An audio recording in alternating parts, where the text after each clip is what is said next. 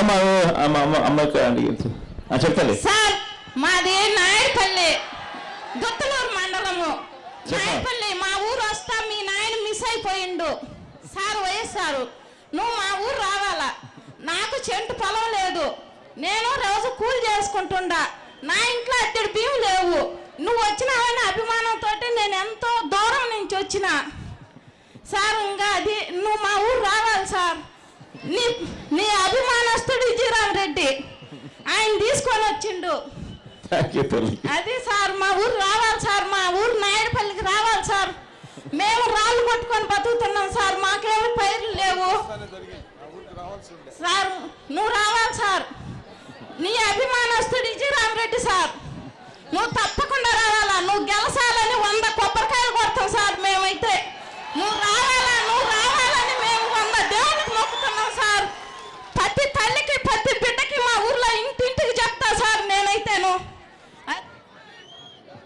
Thank you తల్లి కుదురుతుందో లేదో కానీ ప్రయత్నం చేద్దాం సార్ నమస్కారం సార్.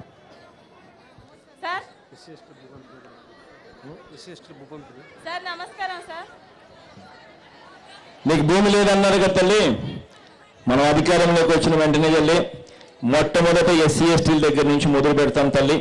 ఆ తర్వాత బీసీలు మైనార్టీలు అందరి దగ్గరికి కూడా పోతాం తల్లి. మీ అందరికీ కూడా మాట చెప్తా ఉన్నాం తల్లి. ఖచ్చితంగా నాన్నగారి హయాంలో దాదాపుగా పన్నెండు లక్షల ఎకరాలు దాదాపుగా భూ పంపిణీ జరిగింది. దాని తర్వాత ప్రజల పేద ప్రజలకు భూములు ఇవ్వాలి అన్న ఆలోచన ఎవరికీ లేదు.